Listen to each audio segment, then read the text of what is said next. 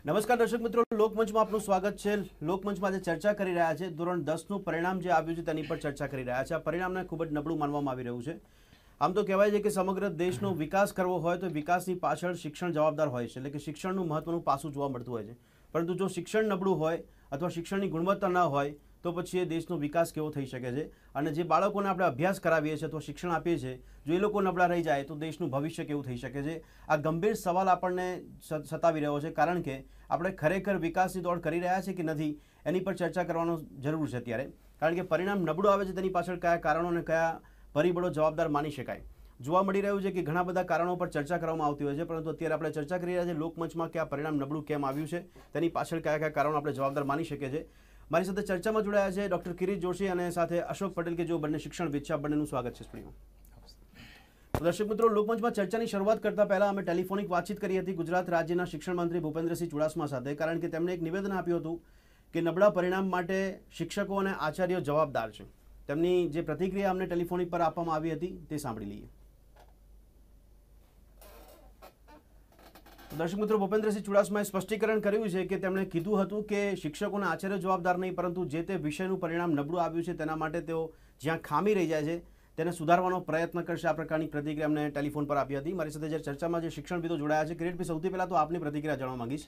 શિક્ષણ મંત્રીએ જ્યારે એવું કીધું છે કે એ ખામી શોધશે અને એને સુધારવાનો પ્રયત્ન કરશે, પણ એક નિવેદન એવું આવ્યું હતું કે એમણે કીધું કે ક્યાંક શિક્ષકો અને આચાર્ય જવાબદાર છે. આપણે એવું માની લઈએ કે જે વિષયોમાં નબળા રહી ગયા છે વિદ્યાર્થીઓ તો પરિણામ નબળું આવ્યું છે તો પછી ત્યાં જવાબદાર શિક્ષકોના આચાર્યો ખરી?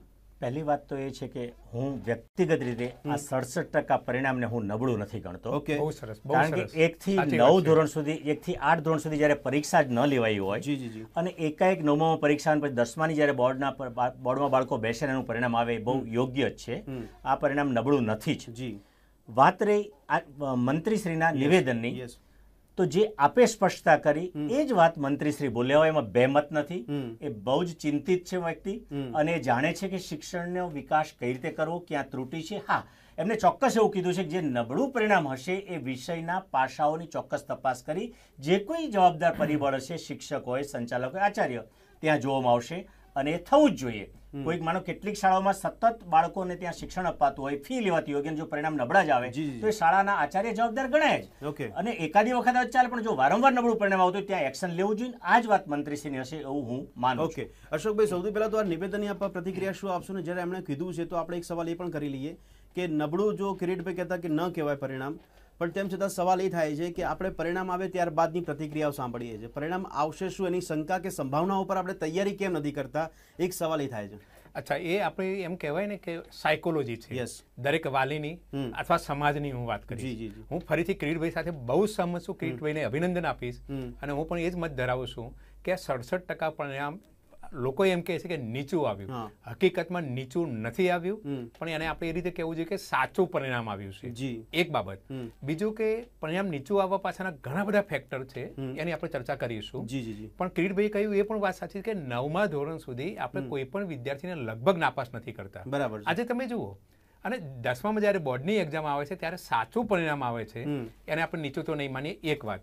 બીજી વાત રહી શિક્ષણ મંત્રીના વિધાનની. યસ. તો શિક્ષણ મંત્રી બહુ જ ચિંતિત છે. શિક્ષણ માટે ઘણું બધું કરવા એ તૈયાર છે. કરી રહ્યા છે. અને સ્વાભાવિક છે કે આખા રાજ્યના શિક્ષણ માટેના વડા છે.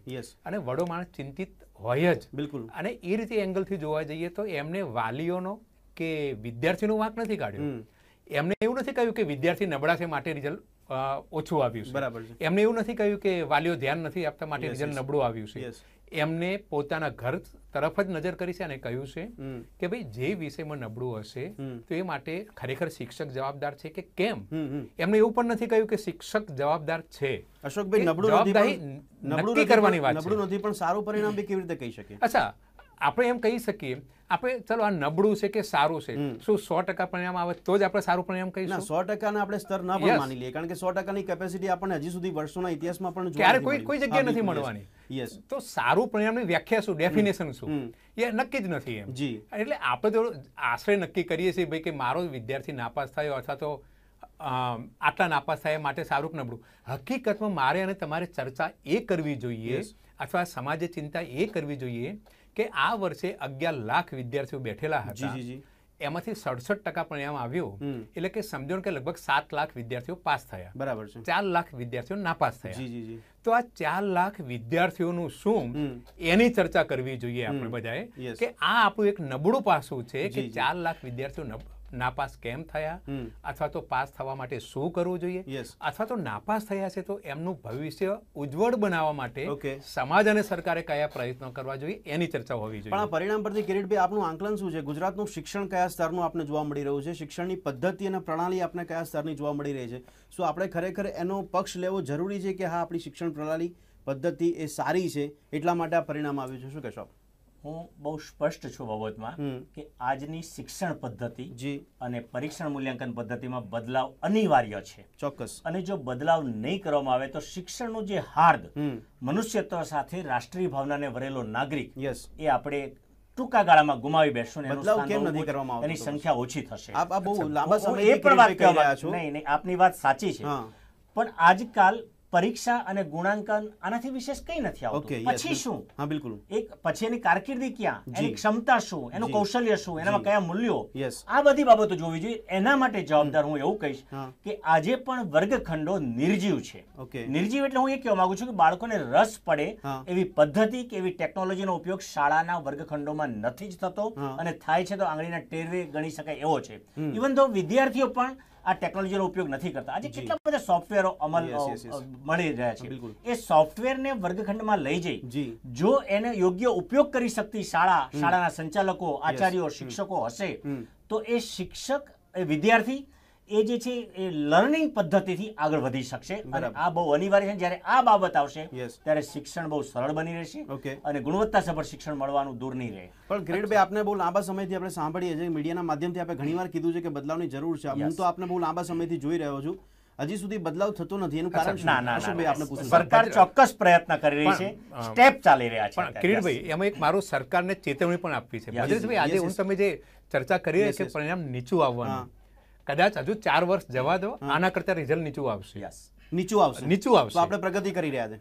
એટલે તમે આપણે જે માની હતી પ્રગતિ નહીં. ઉધ્વ દિશામાં. હા હા બરાબર છે રાઈટ એનું રીઝન આપણે કહી દઉં કે અત્યારે હાલ જે અભ્યાસક્રમ ચાલી રહ્યો છે એ અભ્યાસક્રમ ડાંગ જિલ્લામાં કે બનાસકાંઠા જિલ્લામાં કે ખારવાલ મિત્રો જે છે કચ્છમાં એમનો દીકરો અને ઇંગ્લિશ મીડિયમમાં ભણતો એક વિદ્યાર્થી બંને માટે અભ્યાસક્રમ કોમન છે. ચોક્કસ. જે નહીં હોવો જોઈએ. હું વારંવાર કહું છું કે આપણી સરકારે બે પ્રકારના અભ્યાસક્રમો દાખલ કરવા જોઈએ. વિદ્યાર્થીઓની પસંદગીની તક આપવી જોઈએ. એ નથી આપી. એક બાબત. બીજું વધારે રિઝલ્ટ ખરાબ હવે આવશે. હું સરકારને આજે પણ ચેતવણી આપું છું કે ચાર વર્ષ જવા દો અને હજુ તો સરકાર એવું ઈચ્છી રહી છે કે એનસીઆરટી નો જે અત્યારે સીબીએસઈ નો અભ્યાસક્રમ છે આપણે દાખલ કરવાની વાત છે. અને એ અભ્યાસક્રમ હવે તમે વિચારો કે ડાંગ જિલ્લામાં કે બનાસકાંઠા જિલ્લામાં રણ પ્રદેશમાં રહેતા વિદ્યાર્થીને એ અભ્યાસક્રમની જરૂર જ નથી. બરાબર છે. આજે ગણિતમાં તમે જે શીખવાડો પાયથાગોરસનો નિયમ તો એ વિદ્યાર્થી પાયથાગોરસની જરૂર નથી. એને ચક્રવૃદ્ધિ વ્યાજ સાદું વ્યાજ શીખવવાની જરૂર છે. ઓકે ઓકે કે જેથી કરી એના જીવનમાં ઉપયોગી થઈ પડે. બરાબર છે. અને આપણે એમાંથી બહાર નીકળીએ છીએ અને સીબીએસઈ તરફ જઈ રહ્યા છીએ. અને જ્યારે આનો અમલ થશે સાહેબ ત્યારે તમને કહી દઉં કે રિઝલ્ટ આના કરતા ઓછું આવશે નહીં તો શબ્દ એવું લાગે છે કે સરકાર ગંભીર નથી શિક્ષણ માટેનો નહીં ગંભીર નથી એવું નહીં. તો નહીં, પ્રમાણે જે પદ્ધતિ અપનાવી રહ્યા છે ને તો એનાથી તો પરિણામ હવે એનું પણ કારણ કહું હું એનું પણ સરકારને ચેતવણી આપું વારંવાર કહું છું. Yes. અને ઇવન શિક્ષણ મંત્રી સાહેબ મુખ્યમંત્રી સાહેબને પગે લાગીને વાત કરું છું કે સાહેબ આપણે ત્યાં શિક્ષણના જે નિર્ણયો લેવાય છે ને એ શિક્ષણ સિવાયના માણસો લે છે. અને મહેરબાની કરીને કયા- પરિપ્રેક્ષમાં શિક્ષણ સિવાય કોઈ પણ નિર્ણયો. હું તો એમ કહીશ કે શિક્ષણના કોઈ પણ નિર્ણય ચલો આજની જ વાત છે. ટોક શો આપણે કરીએ. રિઝલ્ટ ઊંચું લાવવું છે. હવે ઊંચું રિઝલ્ટ કેવી રીતે આવી શકે? એની ચર્ચામાં કોણ ભાગીદાર હોવું જોઈએ? શિક્ષકો હોવા જોઈએ. બરાબર છે. જ્યારે આ નિર્ણય ભવિષ્યમાં લેવાશે ને ત્યારે તમને ગેરંટી આપું છું કે આપણા આઈએએસ ઓફિસર જે એસીમાં બેસીને એમ કહેશે શિક્ષકોએ આમ કરવું જોઈએ આચાર્ય આમ કરવું જોઈએ. ભાઈ એ ન ચાલે. તમે શિક્ષકો કે આચાર્યને સહભાગી બનાવો. બરાબર છે? એમની પરિસ્થિતિને ધ્યાનમાં રાખો. ચારે બાજુના એંગલથી તમે વિચારો અને શિક્ષકોને નિર્ણય લેવા દો ને. બરાબર છે. કે ભાઈ અમારે શું જોઈએ છે? યસ યસ યસ હજુ અચ્છા સરકારનું એક નબળું પાસું પણ એક બીજું કહું. એક ખોટો નિર્ણય. તમે જોજો હવે શું બનશે? સડસઠ ટકા રિઝલ્ટ આવ્યું. બરાબર. હવે એમાં જે સ્કૂલનું રિઝલ્ટ ત્રીસ ટકા કરતા ઓછું હશે જી જી. એવી સ્કૂલના શીખ આચાર્યને.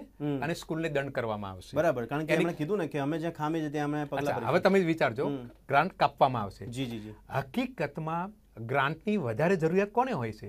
નબળી વ્યક્તિને હોય બરાબર છે જે સ્કૂલમાં જો તમારે રિઝલ્ટ ઊંચું લાવવું હોય તો કિરીટભાઈ કહ્યું બહુ સરસ વાત કરી. કે ભાઈ ટેકનોલોજીનો ઉપયોગ કરો આ કરો તે કરો. તો જે નબળી સ્કૂલ છે એની ગ્રાન્ટ કાપો નહીં એને ગ્રાન્ટ વધારે આપો. બરાબર છે. અને ત્યાં શૈક્ષણિક સાધનો લાવો. હું તો કહું ત્યાં એક શિક્ષક ઓછો નહીં બે શિક્ષક વધારે ત્યાં મૂકો. બરાબર છે. તો આ બધું એ દિશામાં કિરીટભાઈ આપને લાગે છે ખરેખર પગલાં લેવાય છે ખરી? કારણ કે શિક્ષકોનો ઘટ આપે કીધું ક્લાસરૂમમાં થાય આ બધા ઘણા ફેક્ટર્સ છે. તો આપણે જો આજે ચર્ચા કરી રહ્યા છીએ કદાચ બહુ પહેલા થઈ જવું જોઈતું હતું. પણ અત્યારે કમનસીબી માની લે કે આપ કહો છો કે ધીમી ગતિએ પ્રક્રિયા ચાલી રહી છે. શું કહેશો ચોક્કસ કેટલાક નકારાત્મક પાસાઓ પણ છે. એમાં વહીવટી પાસું કહીએ તો આજે પણ શિક્ષકો કે આચાર્યો કે પ્રાધ્યાપકો પૂરતા પ્રમાણમાં શૈક્ષણિક સંસ્થાઓમાં નથી બરાબર. અને ગુણવત્તા ઉપર હાનિકારક અસર કરે છે. જી જી અને ત્વરિત ધોરણે આ બાબતમાં નિર્ણય લેવા જોઈએ. હા હું ચોક્કસ માનું છું કે માનનીય મંત્રીશ્રી આ બાબતમાં સક્રિય છે. પણ. એના બાબતમાં ક્યારેક ને ક્યારેક કંઈક ને ક્યાંક કોર્ટમાં મેટર બની જાય છે અને પરિણામે ત્યાં સ્ટે આવી જાય છે. એટલે સ્ટે ન આવે એના માટેનું પણ પ્રાવધાન. મંત્રીશ્રી કરી શકે એમ છે. એથી. પણ આગળની વાત છે જી જી. કે આના સિવાય શિક્ષકો કે આચાર્યોએ પણ આત્માવલોકન કરવાની જરૂર છે. શું?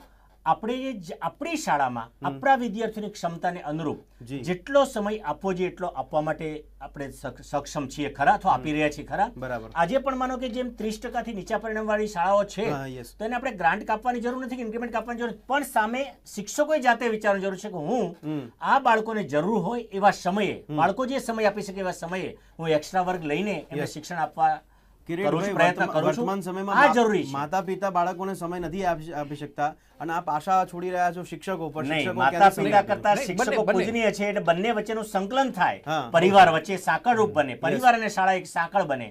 તો આ સફળ પણ ચોક્કસ એવું કયું કારણ છે કે શિક્ષકો સમય નથી આપી દેતા અથવા તો શિક્ષકને પોતાને એવો વિચાર કેમ નથી આવતો કે અમે બાળકો માટે શિક્ષકો સમય આપે છે નથી આપતા એવું નહીં. પણ તમારું એક સેન્ટેન્સ હું પકડીશ કે વાલી અને જે શિક્ષકો. એ બંને વચ્ચે અમને કહ્યું સંકલન. હવે તમે વિચારો સડસઠ ટકા જે રિઝલ્ટ આવ્યું ને અથવા એક બીજી આ આ રિઝલ્ટની જ વાત કરું. કે ઇંગ્લિશ મીડિયમનું રિઝલ્ટ નેવું ટકા આવ્યું નેવું ટકા. એના પછી હિન્દી મીડિયમ આવે પછી ગુજરાતી બરાબર છે. તો ઇંગ્લિશ મીડિયમનું નેવું ટકા આવવા પાછળનું કારણ કે મોટા ભાગના જે નેવું ટકામાં જે વિદ્યાર્થીઓ છે જી. એના વાલીઓ બહુ જ જાગૃત છે. ઓકે આર્થિક રીતે બહુ સક્ષમ છે. અને ત્રીજી બાબત એના કરતાં મોટી વાત આ બધા જ વાલીઓ સિટી વિસ્તારમાં છે શહેરી વિસ્તારમાં બરાબર છે. હવે આ જે રિઝલ્ટ જે થોડું ઘણું નબળું આવે છે એ ગ્રામ્ય વિસ્તારમાં એમ કહેવાય ને કે આપ કહો છો પરિણામ નબળું આવે છે ગુજરાતી માધ્યમનું અંગ્રેજી માધ્યમનું વધારે પણ આવ્યું છે. પણ સવાલ એ બી થાય છે કે વાલીઓ પોતાના બાળકોને વધારે તો અંગ્રેજી માધ્યમમાં ભણાવે છે એટલે ગુજરાતી માધ્યમની. એ આપણે? મોટી કરુણતા છે. એ મોટી હજુ તમે જો આપણે જે આ રિઝલ્ટની તો એનાલિસિસ આનાથી મેસેજ જાય છે કે તમારા બાળકને અંગ્રેજી માધ્યમમાં ભણાવો તો પરિણામ સારું નહીં નહીં નહીં ના ના. આનો મેસેજ એવો છે કે જે હોશિયાર વિદ્યાર્થીઓ છે બધા અંગ્રેજી માધ્યમમાં ચાલ્યા ગયા છે. બરાબર છે. અને નબળા વિદ્યાર્થીઓ છે ગુજરાતી આપ માધ્યમમાં છે. ડેફિનેશન કેવી રીતે આપી શકો? કે અંગ્રેજી માધ્યમમાં ભણતો વિદ્યાર્થી હોશિયાર છે ગુજરાતી માધ્યમમાં ભણતો એ લોકો જઈ રહ્યા છે. ત્યાં હોશિયાર છે એવું નથી કહેતો. નહીં, નહીં, નહીં. હોશિયાર વિદ્યાર્થીઓ અંગ્રેજી માધ્યમ પસંદ વધારે કરે છે. અંગ્રેજી માધ્યમમાં જવાનું કારણ શું? એક તો એક સવાલ એ થાય છે અને ગુજરાતી પ્રત્યે આટલી નિરસતા કેમ જોવા મળી રહી છે? શું આપણે ગુજરાતના પરિણામની ચર્ચા કરી રહ્યા છે કે આ દેશના પરિણામની ચર્ચા કરી રહ્યા છે? આપ જે કહો છો એ શિક્ષણની અંદર ભાષા કરતાં હું માતૃભાષાને વધારે મહત્વ આપું છું. ચોક્કસ. અને માતૃભાષામાં મેળવેલું શિક્ષણ એ ઉત્તમ જ હોય. જી. એ કેળવાયેલો વિદ્યાર્થી જ હોય એમાં બે મત નથી ને સફળ વિદ્યાર્થી જ હોય. બરાબર પણ વાત ત્યાં છે કે અંગ્રેજી માધ્યમ કેમ ક્રેઝ વધી રહ્યો છે? જી જી જી. તો આજકાલ નવા નવા જે અભ્યાસક્રમો આવે છે એન્ટ્રન્સ એક્ઝામો જે આવે છે. આ બધા ઉચ્ચ શિક્ષણમાં પ્રવેશ માટેની પરીક્ષાઓ છે. આ બધી પરીક્ષાઓના માધ્યમ અંગ્રેજી બની રહ્યા છે. એબ્રોડ જવાનો ક્રેઝ પણ વધી રહ્યો છે. બરાબર. અને ત્યારે અંગ્રેજીનું મહત્વ છે એટલે ગુજરાત અંગ્રેજી ન ભણો એવી વાત કોઈ નથી. પણ માતૃભાષાની સાથે અંગ્રેજી શિક્ષણ જો મહત્વમાં આપવામાં આવે તો અંગ્રેજી માધ્યમની કોઈ જરૂર નથી. માતૃભાષામાં મેળવેલું શિક્ષણ સફળ રહેશે છું. કેટલી નિષ્ફળ કહેવાય સરકાર કે ગુજરાતી માધ્યમ માતૃભાષામાં ભણતા બાળકો માતૃભાષા છોડીને જો બીજી ભાષામાં ભણવા માટે જાય એના માટે સરકાર કેટલી નિષ્ફળ કહેવાશે શું કહેશો? ના ના ના સોરી સોરી હું- કિરીટભાઈ હા યસ કિરીટભાઈ પહેલા. સરકાર નિષ્ફળ છે એ વાત તો હું નહીં કહું. કેમ? પણ સરકારે ચોક્કસ પ્રયત્ન કરવાની જરૂર છે કે તાલુકા કક્ષાએ અંગ્રેજી માધ્યમની કોઈક શાળા હોય તેમાં વાંધો નથી. પણ એથી વિશેષ. અંગ્રેજી શિક્ષણ ઉપર વધારેમાં વધારે ધ્યાન આપવું. જે માતૃભાષાનું મહત્વ આપીએ એની સાથે. અંગ્રેજી શિક્ષણ પણ યોગ્ય પ્રમાણમાં મળી રહે ગુજરાતી માધ્યમની શાળામાં પણ. તો કોઈ બાળકો અંગ્રેજી માધ્યમ તરફ નહીં પણ આપણે એટલા માટે નિષ્ફળની વાત કરું છું. અશોકભાઈ આપને હવે પૂછું છું. સરકાર પ્રયત્નો કરી રહી એવું માની લઈએ. થોડાક સમય પહેલા ભૂપેન્દ્રસિંહ ચુડાસમાએ કીધું કે ગુજરાતી વિષયને ફરજિયાત બનાવો અંગ્રેજી માધ્યમની શાળાઓમાં. અંગ્રેજી માધ્યમની શાળાઓ પણ ના પાડી રહ્યા છે. અમુક ટકા સુધી જ રાખવાની વાત કરી રહ્યા છે કારણ કે પેપર ખાલી કાઢવા પૂરતી વાત કરી રહ્યા છે. તો આપણે ગુજરાતીને તો અત્યારે અપમાન કરી રહ્યા છે. ગુજરાતીનું તો પ્રાધાન્ય આપણે પોતે ઘટાડી રહ્યા છે. કેમ? તમે ગુજરાતી માધ્યમમાં ભણાવો અંગ્રેજી ફરજિયાત કરો. એવી ઉલટી દિશામાં કેમ નથી જતા? અચ્છા હું આપની સાથે સહમત છું આ વિધાન સાથે. આમાં સરકારનો દોષ અથવા એમ કહેવાય દોષ બિલકુલ નથી. માત્ર ને માત્ર વાલીઓ જે છે એ દેખાદેખી. મારા પડોશીના બાળકે મારા સગાના બાળક છે ઇંગ્લિશ મીડિયમમાં ગયું માટે મારે ઇંગ્લિશ મીડિયમમાં મૂકવાનું. બરાબર. અને હવે તો એવું બને છે કે ઘરની અંદર એમ કહેવાય ને કે જે મમ્મીઓ અંગ્રેજીની દસમું ધોરણ પણ નથી પાસ થયેલી. એ પોતાના બાળકને ઇંગ્લિશ મીડિયમના બાળકને ભણાવે એવું- દેખાદેખી કેમ આવી છે એ- સાયકોલોજીકલ આખું કારણ છે. સમાજની એક એક કહેવાય ને કે બધી હું તો એને બધી શબ્દ પણ વાપરવા મને. વાંધો નહીં આવે. બરાબર છે જેનું રિઝલ્ટ એ લોકોને અત્યારે નહીં સમજાય.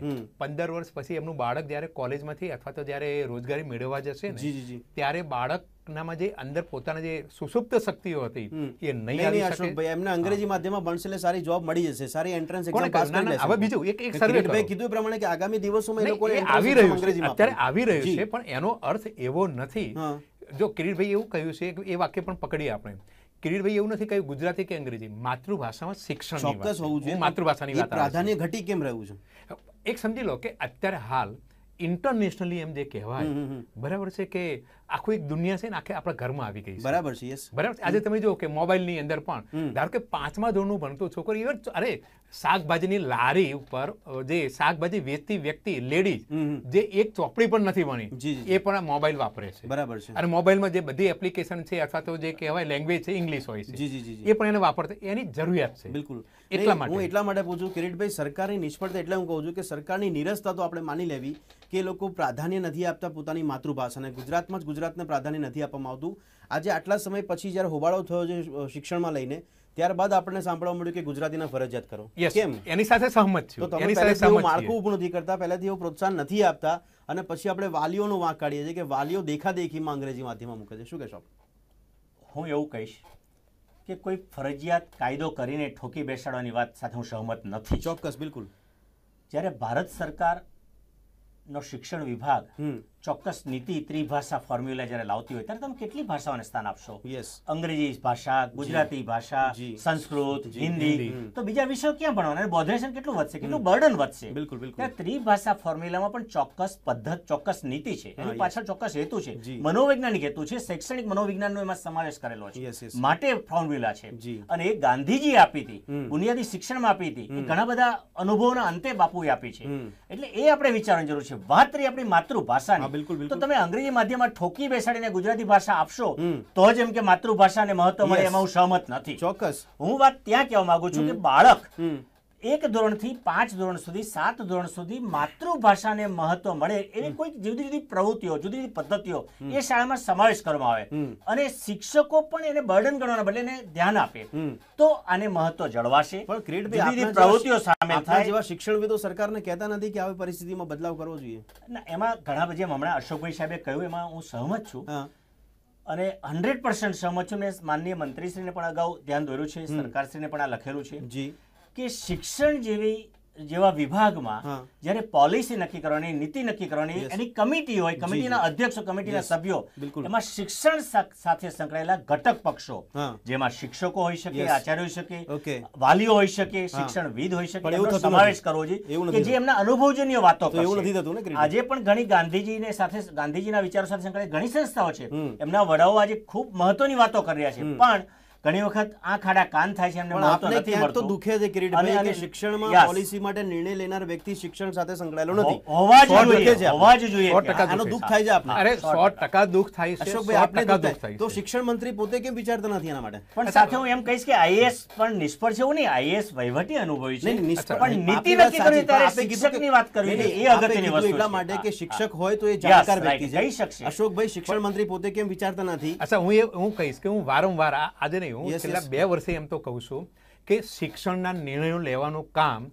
શિક્ષણવિદોનું છે એનો અમલ કરાવવાનું કામ આઈએસ ઓફિસર કે અધિકારીઓ ચોક્કસ એ વય- વ્યવસ્થાપનમાં આવે છે. વ્યવસ્થાપનનું એમને કામ બિલકુલ પણ નિર્ણય તો શિક્ષણના માણસોએ જ લેવા જોઈએ. અને જે આપણી સરકાર હકીકતમાં હું કહીશ નથી કરી શકતી એનું ભારોભાર દુઃખ છે. પણ આપે કેટલી રજૂઆત કરી શિક્ષણવિદ તરીકે? એ તો વારંવાર આજે પણ રજૂઆત કરી આપણું સાંભળતા કેમ નથી શિક્ષણ એટલે બધાનું સંભળાય એમની કોઈ મર્યાદા હશે કોઈ મજબૂરી હશે? આપણે જાણતા નથી. શિક્ષણ સારું આપવા માટે શિક્ષણ. મંત્રીની કોઈ મજબૂરી કે મજબૂરીની સવાલ નથી આવતો. એમને કદાચ એમ લાગે કે મારા મારા કરતા ધારો કે આઈએસ અધિકારીઓ છે અથવા બીજા લોકો અને કદાચ એ લોકો અમને નથી બોલાવતા એનો અર્થ એવો નથી કે નહીં જ બોલાવતા હોય. નહીં નહીં પણ સવાલ એ છે અશોકભાઈ શિક્ષણ મંત્રી પોતે આમ તો ઘણા લોકો જે પોતે જેમ તો શિક્ષણના માણસ શિક્ષણ મંત્રી પોતે બીએડ થયેલા છે. બિલકુલ. બરાબર છે એ પોતે શિક્ષક હતા. અને એ પોતે શિક્ષણના માણસ છે અને. એના કરતા માણસ તરીકે બહુ સારો તો જલ્દી આપણને સુધારો જોવા કેમ નથી મળતો? કારણ કે વિકાસ ઝડપી થઈ રહ્યો છે. જો એવી સરકારના દાવા કરતા હોય તો શિક્ષણમાં આપણે ઝડપી નિર્ણય ને ઝડપી પોલિસી કેમ નથી અપનાવી શકતા?